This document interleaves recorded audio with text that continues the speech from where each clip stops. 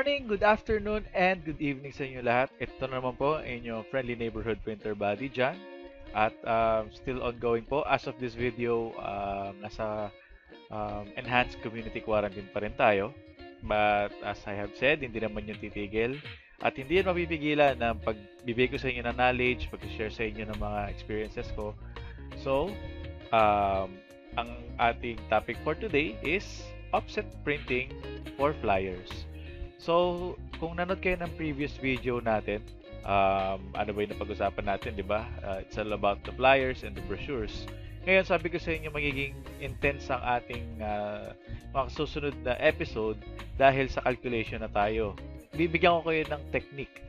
Daunting siya sa una. Na, uh, kahit ako, hindi ko siya um, hindi ko siya uh, na-accept. I mean, hindi ko siya naintindihan fully until nung binigay ko yung puso ko sa pagkakalculate. Which is akala ko mahirap, parang madali na lang pag nagtagal. So, bago tayo magsimula, um, meron tayong uh, community shoutout muna. Um, so, dito kay Andro Koy. Yan. Shoutout sa Team Printus Graphics sa Dumaguete City. So, maraming maraming salamat Sir Andro Koy. Um, nakakatuwa na umabot tayo sa Dumaguete. Marami may mga printer din pala tayo na friends niya sa Dumaguete. Hello sa inyo lahat. So, yun. Uh, nasagot ko na rin yung tanong niya regarding sa materials. So, ito, um, it will be a uh, supplement dun sa sinabi ko noon sa kung paano ba presyo yung mga times 2, times 3. Ito, mas mas ano to, mas intensive ang pag pagpe-presyo natin dito. Baka pwede niyo rin i-apply sa iba yung products. So, sa pagtanggap ng flyers, di pupunta si customer, anong information ba ang kailangan natin sa customer para tumanggap tayo ng offset? So, ito. Kailangan natin ng paper price. Kailangan natin ng uh, presyo ng computer complete services. Pwede nyo balikan to sa may, uh, sa may flyers and brochures episode natin, no? Tapos yung running fee, na naipaliwanag ko rin doon, yung kung yung first 1,000 or yung succeeding tapos yung cutting fee, lamination, and die cutting service price. Yun. So, example, ayan, uh, pumasok si customer. Uh, ano to? Um, example lang gagawin natin doon para mas ano, mas interactive, mas mas uh, mas educational, mas madami tayong matututunan. Magsasata tayo ng example kung paano. Yan, kunyari, uh, Sir John, magpapagawa ko sa inyo ng flyers, uh, 1,000 pieces, back-to-back printing, uh, letter size, full color, tapos ang papel is C2S 80. So yun, nakuha natin lahat ng information na yun. Ngayon, pag, naku- pag nakuha lahat ng information na yun, ang una nating uh, hahanapan ng presyo is yung paper size. So, tawag tayo kay supplier natin, kay Remeral, kunyari. Yung sa previous video, nasabi ko rin yun. At check ang price ng C2S 80. Tapos sabi ni Remeral, uh, Sir Jan, ang presyo ng isang sheet that is 25 by 38 inches is 850 isa. So, after mo makuha information yun, so nakuha mo na 850. 25 by 38 inches, malaki yon. So, mamaya hahatiin natin kung ilan ang 18F by 11 na makukuha natin dun sa 25 by 38 inches. Pero bago natin gawin yon, kailangan natin i-check yung offset size ng printer natin. Kasi, dun natin nahatiin eh. Yung 25 by 38, kunyari, ang size ng offset size ng printer is 15 by 21. Sa 15 by 21, dalawang cut yun. Dalawang cut yun sa 25 by 38. Huwag kayong mag-alala, may illustration ako. Uh, gagawin kong sobrang madali to para sa inyo lahat. So, doon muna tayo, may paper price na tayo, 850. Yun man importante, 850. Okay. Ito yung sinasabi ko sa inyo. Ngayon, um, sa paper area natin, yan, etong buo na to, 25 by 38 yan. Yan. Proportion to sa 25 by 38. Ngayon, tumawag ka sa printer mo sa pinag-outsourcean mo sa may sa Molave. Yan. Uh, sabi niya, Sir John, meron ka ba dito 15 by 21 na offset? Um, so, yon Nakuha ko na yung kailangan ko, 15 by 21. So, ilang 15 by 21 ang kasya doon sa 25 by 38? Etong, so dito, apparently, dalawa. So, ang tawag doon, um, isang sheet ng C2S, dalawang off size na offset size na outs ang meron tayo. So, ilan doon natin malalaman kung ilan ang orderin natin. So, kailangan natin ng 1,000 pieces. kailangan natin mga around 500. Uh, 500 na buo kasi hahatiin natin sa dalawa eh. Etong papel na to talagang tapon na yan kasi uh, wala na ng paggagamitan. Usually pag bumili ka ng papel, ipapakat mo na rin. So yon. Um, hopefully clear to sa inyo na example, yung 25 by 38 na isang buo is dalawang offset size na papel. So sa isang buo, dalawa ang magagamit natin. Okay? So next, eto na tayo sa image size. Ang gusto ni customer, kung matatandaan nyo kanina, is 8.5 by 11.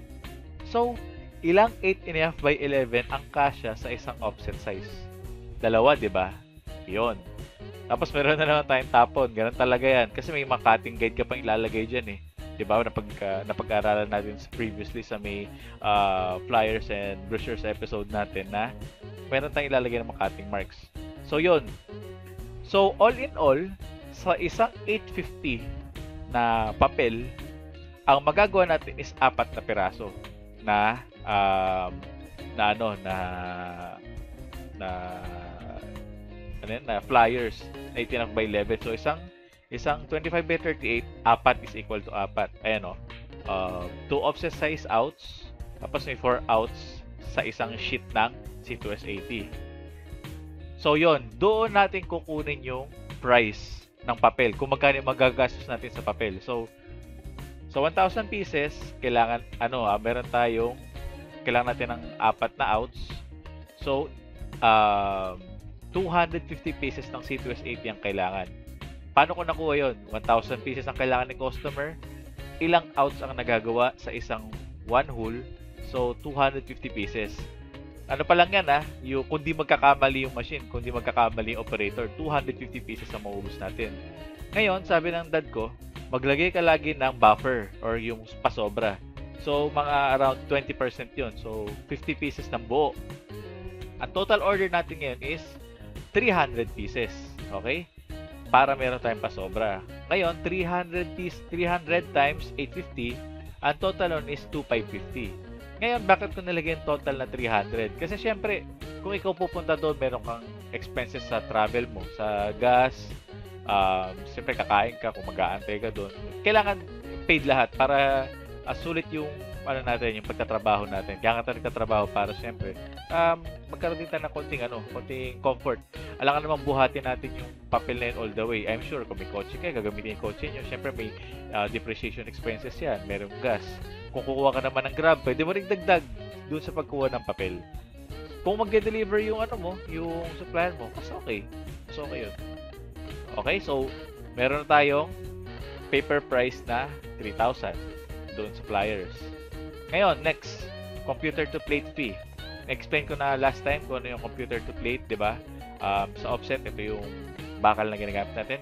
So, lahat ng hindi pa nakakintindi ko ng um, computer to plate, I suggest you go to the previous episode, yung flyers and brochures. So, ito. Sa computer to plate, example, 400 ang isang plate. So, kailangan natin ng apat na piraso. Ang total nun is, kunyari, total nun is 1.6. Yan. Just, just ano, just uh, approximation. Kailangan, um, teka lang ah. Kailangan, work and turn, meaning, eto, uh, work and turn, yung harap, likod, magkatabi. Kasi, pag ginawa nyo pareho magkatabi, gagastos kayo sa computer plate. Imbis na apat na peraso lang ang plate nyo, magiging walo. So, make sure na harap at uh, at uh, back uh, front at back ang magkasama. This is situational. Sa 15 by 21, dalawa ang kasya. So, okay lang yon Pero paano kung mas maliit doon yung offset mo, di ba? Wala kang magagawa. Um, talaga magiging walo yung ano mo, yung offset mo, I mean, yung plate mo. Pero wala namang ganun ito na ito yung isa sa pinakamalit na alam ko. So, yun, uh, magkatabi, uh, front, saka back. Wag front front, back back kasi dodoble yung ano mo, yung gastos mo sa computer to plate. So, paano ba napiprint yun? Di ba pinag-usapan natin nung ano nung last episode yung uh, magkatabi Yan. So, pag nag-print siya, ganyan. Ngayon, kunyari, ito yung papel ah. Ito yung papel. Lalabas siya ganyan. Sayan mo na. Ngayon, babalik rin mo yung papel. Tapos, ganun ang lalabas. So, back to back na siya. Kaya mas mura yung work enter. Kailan ko lang din natutunan yan. So, yun. Meron tayong computer to plate fee na 1.6. So, nasa 4.6 na tayo yung puhunan natin. Ngayon, running fee na tayo. Running fee. First 1,000 or succeeding. Yan.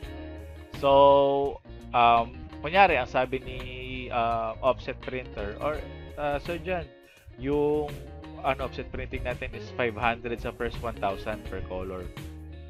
So, first 100 pieces, ayan. Uh, tapos sabihin natin 500 din yung succeeding. Kunyari lang. Pero usually mas mababa yun. Sabihin 300 na lang. So, first 1,000 natin harap, puro sayan. Siyempre, sa likod din. So, mali calculation ko. Mga around 800 lang yan. Yung back-to-back na, ano, na print. So, uh, lagyan na natin sa 1,000 kunyari. So, lahat yan, lahat yan, iraran back to back, cyan, magenta, uh, yellow, saka black para magbuo ng isang colored na picture. So, ang running fee natin is 4,000, kunyari lang, mas baba pa. Ngayon, sa cutting fee, usually, ang cutting fee natin, sorry, off ko lang yung. So, ang cutting fee natin is uh, 500 to 1,000, depende. Ano to, yung para mas maganda yung ano niya, yung pagtakat niya. Hahanap tayo ng cutter. Doon din sa Malave, kung malapit-lapit kayo doon, meron din doon. Marami naman din. So, yon uh, wala naman tayong lamination and die cutting services, so not available. So, yon yon ang puhunan natin. Paper price na 3,000. Yung computer to plate fee na 1,600. Running fee natin ng 4,000. Tapos yung cutting fee natin, lagyan natin sa 1,000 para okay. So, ang total na puhunan is 9,600. Okay? Ngayon, paano natin i-compute yung uh, ano natin, yung profit? Yung first mode ng calculating the final price is times 2. Uh, dito, hindi ka pwede mag times 3 dahil sobrang mahal. Sobrang magiging mahal yung presyo mo. Tignan mo, tignan nyo to. 96 times 2 is 92 divided by 1,000 pieces. 1920 per piece. Di ba parang medyo, para sa akin na parang medyo taas. Ngayon, may isang mode. Yung second mode is, kukunin mo yung 50% ng profit mo, which is 96 divided by times 0.5 or divided by 2 na lang. Uh, 4.8 plus yung 4.8 plus yung um, puhunan mo, 14.4. Tapos i-divide mo siya sa 1,000 pieces, magiging 14.40 per piece.